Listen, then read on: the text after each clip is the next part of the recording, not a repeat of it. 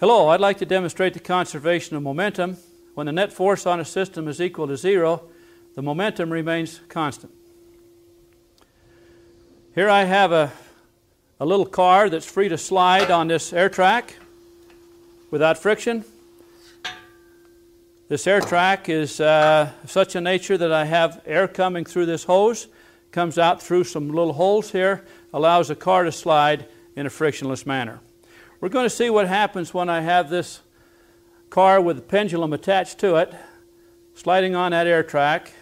And I want you to notice with this disc right here, which is close to the center of gravity of the total system, that disc will tend to remain at rest as the two parts of the car oscillate with respect to one another in opposite directions.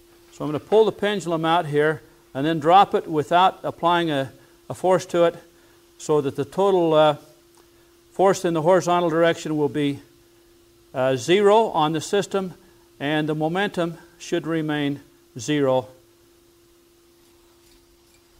And you can see that it does. As you watch that disk, it tends to remain fixed as the two halves of the car move in opposite direction with respect to one another. Now, if the car is moving along, that disk will move along at essentially constant speed. And even when the pendulum is uh, swinging and the car is moving along, the disc goes along at constant speed. Conservation of momentum.